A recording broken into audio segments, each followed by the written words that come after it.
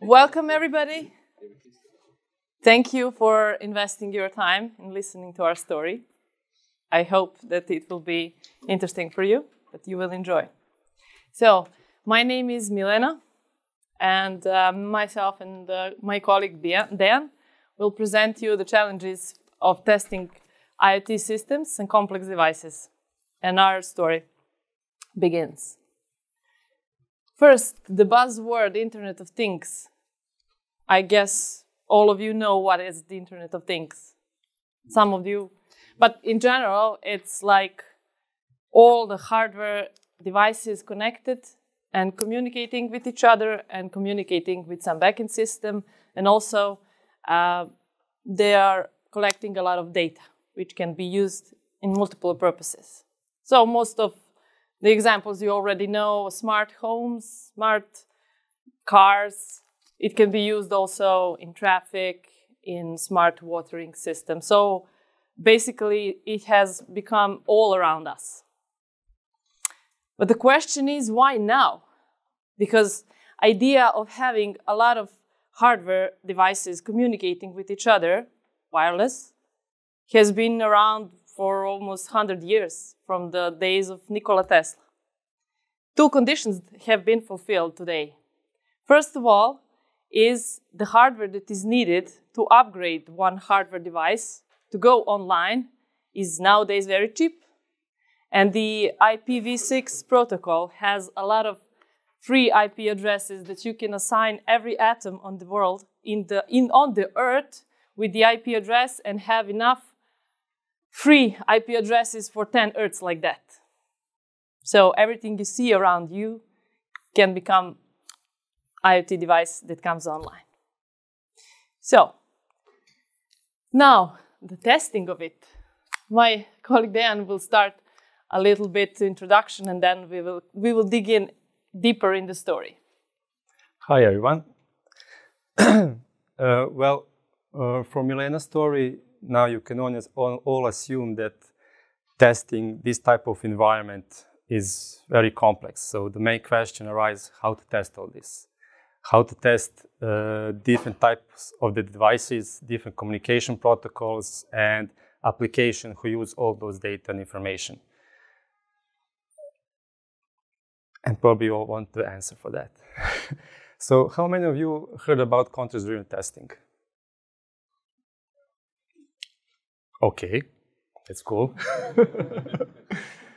well, uh, you, you all heard about, you all know who is James Bach. So James, James Bach and other, other guys, Cem Kaner and others, uh, came up with this idea in, 19, uh, in late of 19th, in 18th century, at the end of 18th century. And they, they, uh, the essence of context-driven testing is the, our knowledge, our experience, our skills not test procedures, not test standards. So when we talk about uh, our knowledge, it, we, we try to accum accumulate it and to, to exercise it throughout the project. Of course, uh, the, uh, the team members, the other team members are also the important part of that. So cooperation with other team members, uh, our, our other stakeholders, they give us the, the, the core value of the context-driven approach. Uh, also, uh, as I said, we don't have uh, test standards. We don't have uh, test procedures. We allow, we allow ourselves to do test practices, which in base are our, our knowledge and our skill. So test practices uh, are always re reevaluated throughout the project because uh, project usually during uh, during some period of time are change are changing. So our test practices has also has to change throughout the project.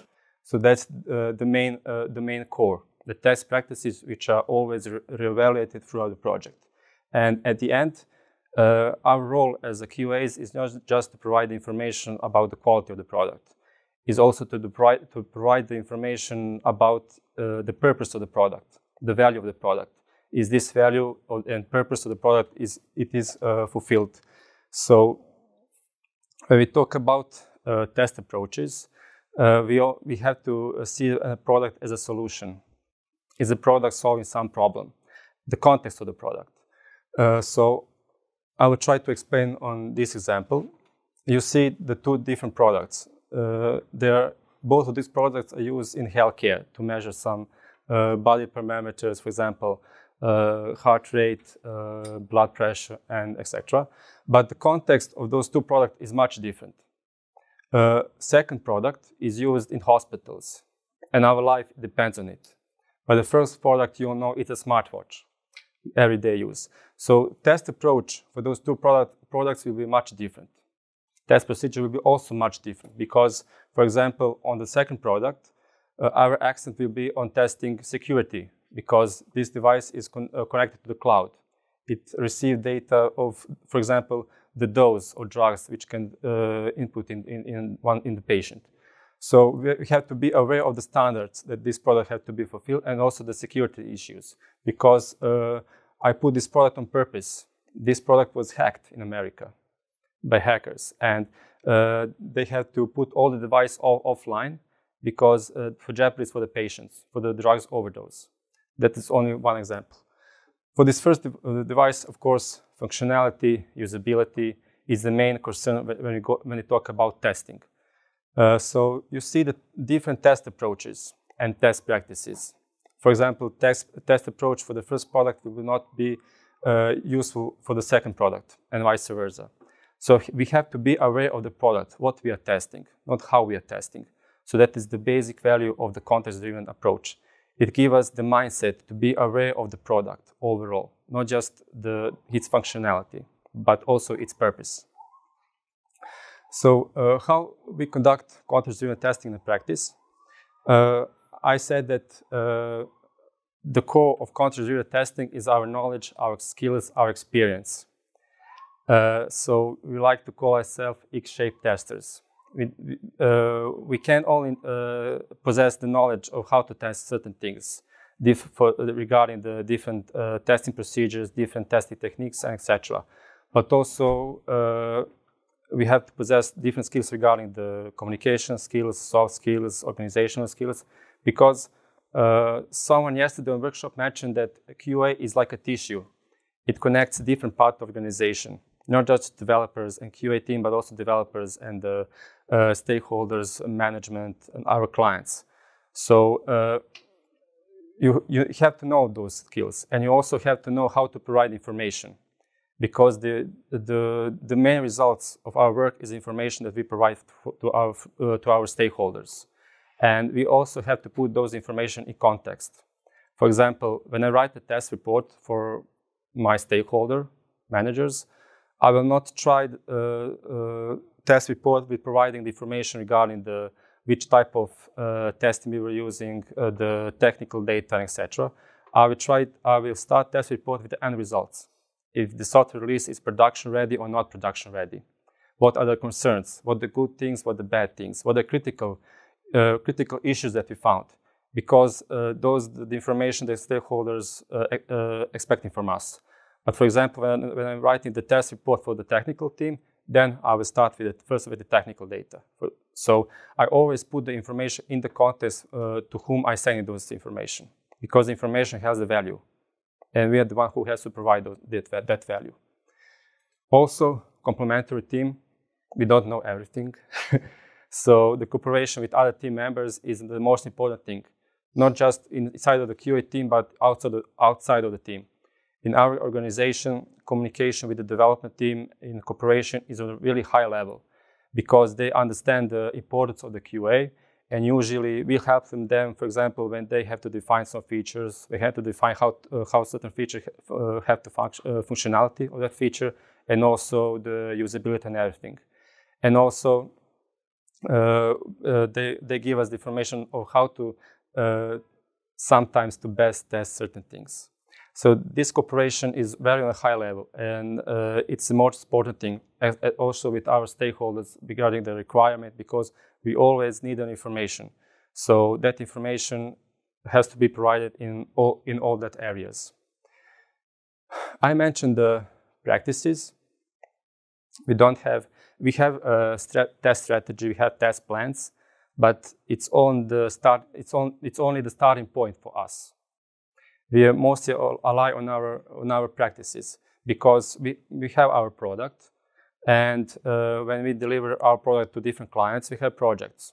And some project lasts for two weeks, some project lasts for, for three months. So test practices which we uh, go in those different projects, it's, it's different. And sometimes we have to change it. We have to be agile, to be, to be adapt.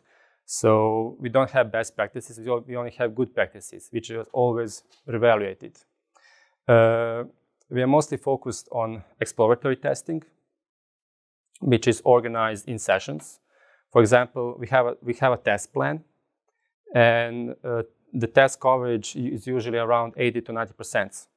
But from our experience, most of, of, the bugs which we found in our solution, we found during exploratory testing. So uh, we started, okay, when we're testing the new features, we start with the test plan, we write test cases, but we also write test ideas, like notes. And we have sessions for which last for 20 minutes or till the half an hour.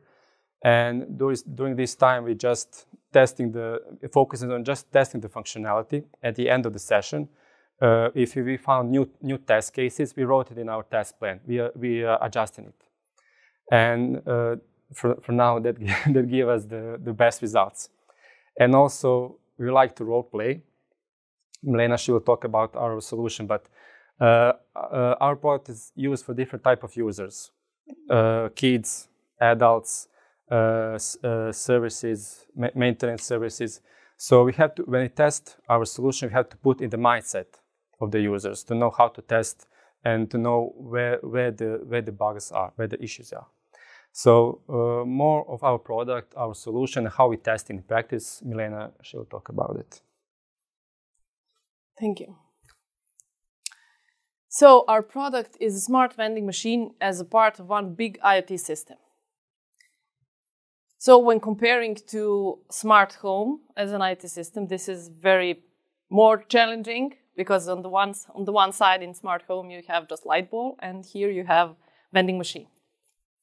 So uh, the vending machine inside has a PC which is connected to the internet, so it's online all the time.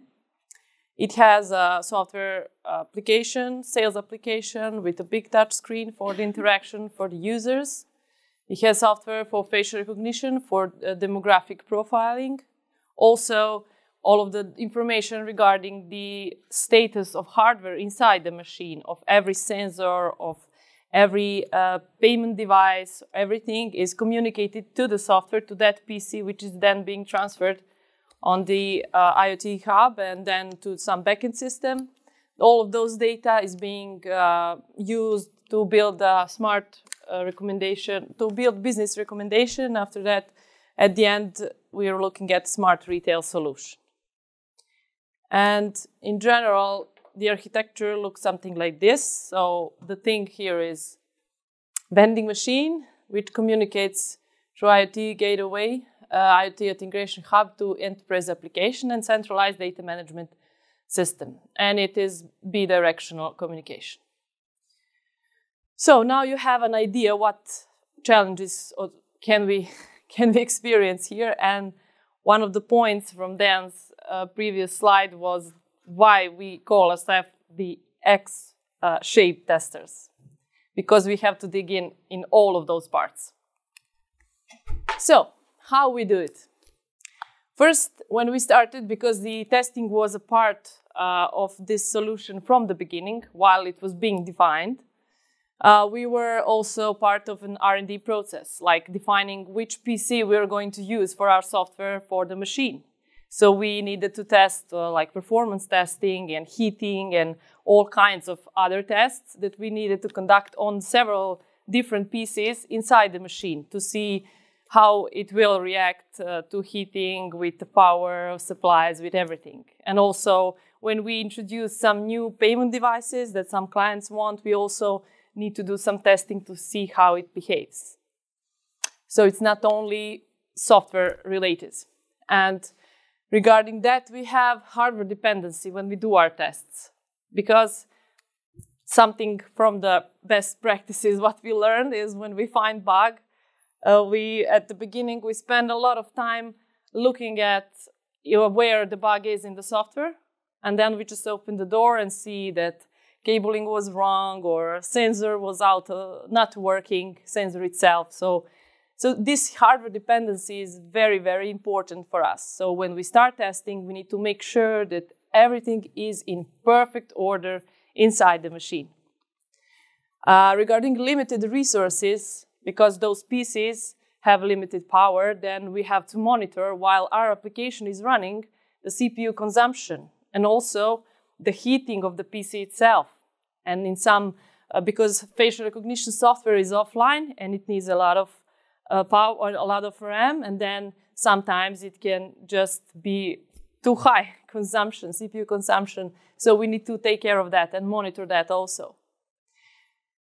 Regarding the network interruptions, since it is an IoT system, you presume there is always internet because without internet, you don't have Internet of Things. But in the real world, it's not always like that. Our machines are in different places. It can be in metros, underground, and we are using mostly the mobile network, like 3G, 4G, which sometimes can be not so reliable. So somewhere on over, underground, there is no connectivity or there is very poor connectivity.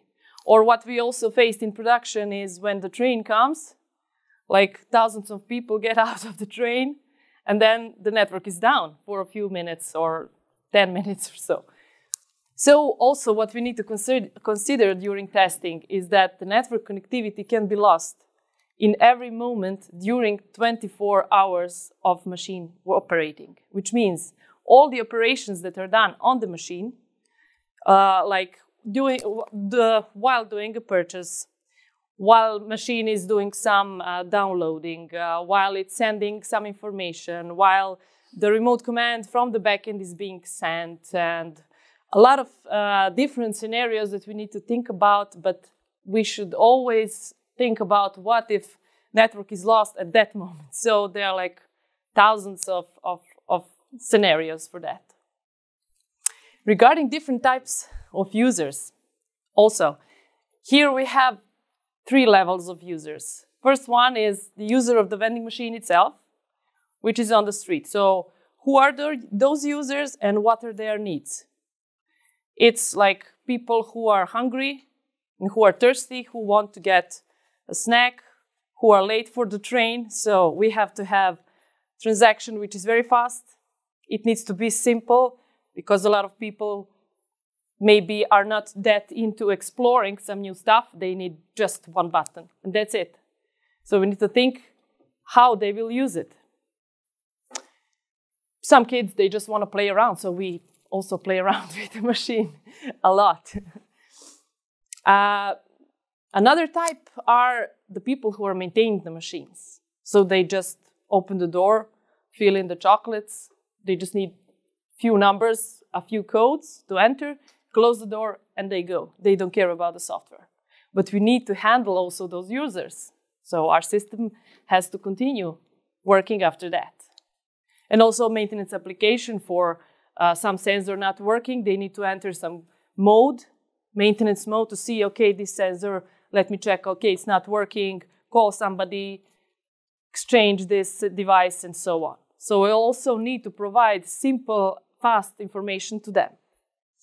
Third part, uh, third uh, uh, type of users are the users of the backend system, the people who sit in the office and who monitor all the machines. So they have information about all the transactions, all the events inside the machine, if hardware is correct, uh, if payment is done correctly. Uh, then we have a business type of people who also in the backend system want to see the reports, want to see the sales, like what's the Snickers sales this month, on this street in this part of the city, on this part of, of country. So we also need to think about their needs, if they can get correct data. So can you imagine the, the amount of filters that you can use on the backend system and to verify all the information are correct?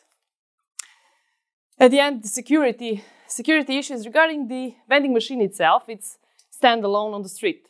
So like, what can you do? It has a security glass. But anyhow, people are trying to do a lot of stuff on the streets, like Even some customers said that uh, they tried to, to fire the touch screen. They pour water, they put gums inside, so they like, yeah, trying to damage the system itself. Even one customer told us the interesting story, like uh, when their uh, refillers came to refill the machine, they opened the door, they found a cat. and they were like thinking, what's happening? And then they saw the cat jump on plates on the products. And she plays around with her, with her claws, making sounds, amusing herself. While she's doing that, the products are falling down. So they can just pick up the free products and go. so, yeah, if we were testing, it should look like something like this. But we haven't tried it. So, to make this more real, this story, one of the degradation scenarios from my it was one of my first degradation scenarios. What if some coin is stuck inside? How should i simulate that? So this is the coin device. It has two parts. First part is coin acceptor which accepts and recognizes which coin it is. And then the other part is coin dispenser which uh, sorts in tubes coins and can dispense change so i put a paper in between those two devices. So the coin cannot go further to the dispenser. It stays in acceptor, and then the device itself sends some information to the software, coin jam in acceptance or so. This was why, uh, my approach from the beginning, and uh, I get uh, weird looks from developers like, why are you doing that? What are you doing? And I said, we need to make sure that our software knows how to cope with everything because it is going to be 24 hours on the street unattended. It needs to keep running, it needs to be reliable. So when they made, uh, of course, the, the software crashed. First time I tried that because they didn't even cover that scenario, didn't thought about it.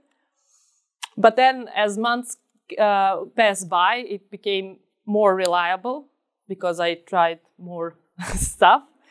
And then when we had like first week uh, uh, in production, I was very proud to see CoinJam in acceptance several times in some machines. And then I was really, I mean, the whole team appreciated then. And then we really get uh, the, play, the high place in our, the whole organization, the company. So like for, for our colleagues, like we are gods, which is very good. So some more examples? Yeah. this is this is yours. Yeah. This is uh, role playing. I'm playing Leonardo DiCaprio in front of the machine. uh, uh, as I mentioned, our machine is used by different type of users: children, adults, different age, different gender. So uh, we have, of course, facial recognition system, who detects uh, people in front of the machine and it sends data regarding the day age uh, and day gender to the cloud. So as you can expect, we don't have children who are working in our organization, so we sometimes have to improvise. So that is why we are using big pictures. On the second example, we have a scenario when the product is jammed in the machine, when it, when it is not delivered. Uh, we put the tape on the sensor, so machine thinks that the door is closed, but you can see it's opened. So we can play with it. So I will just start with the video. Sorry.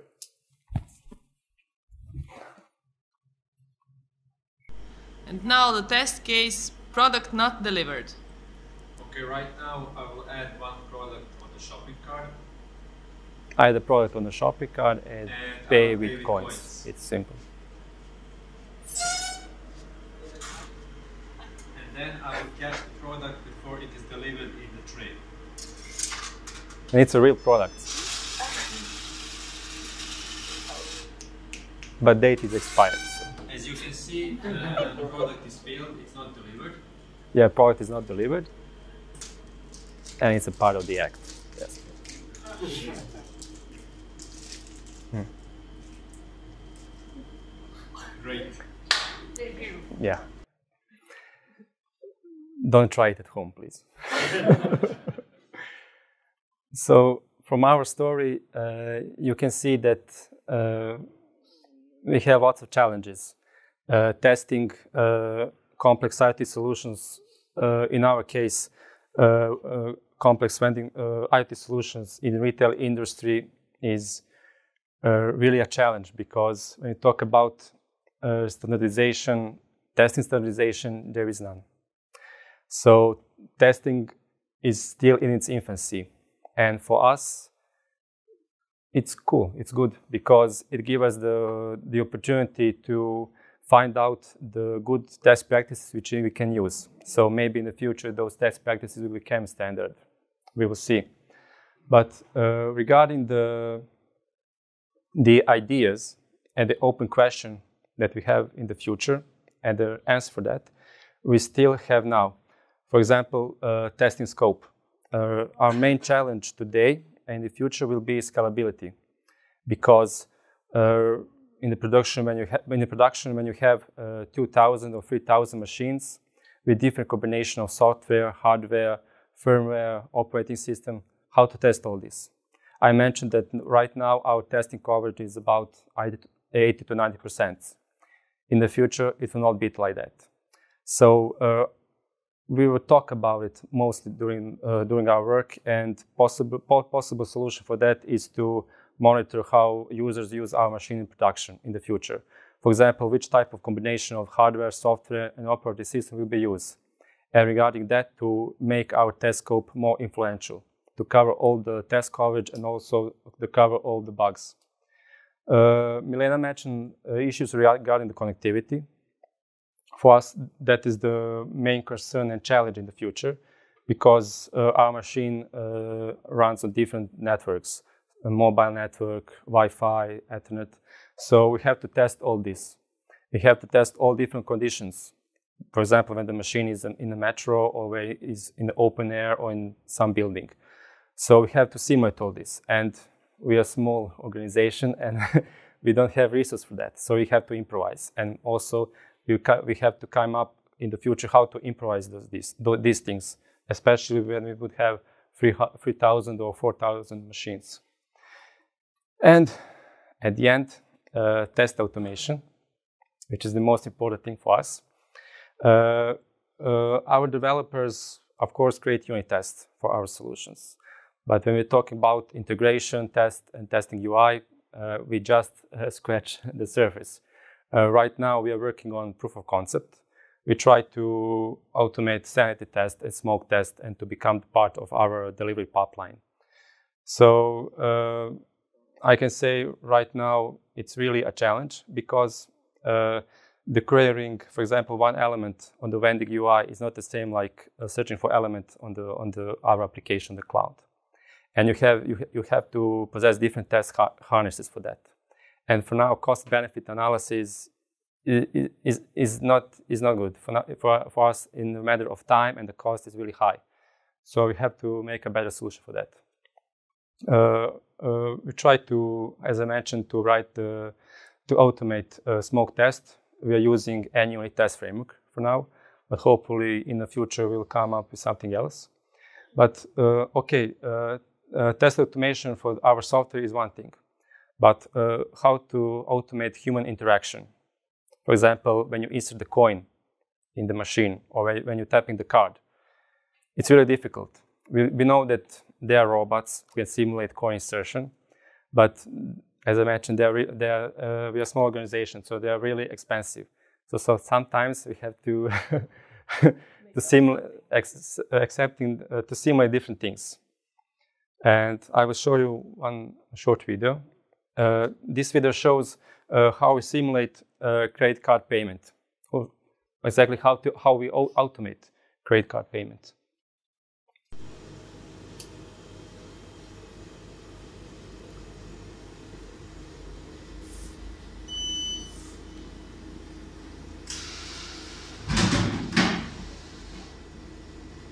We, we really improvised because we used, uh, uh, it's a solution from our colleague, Canvas really elegant solution.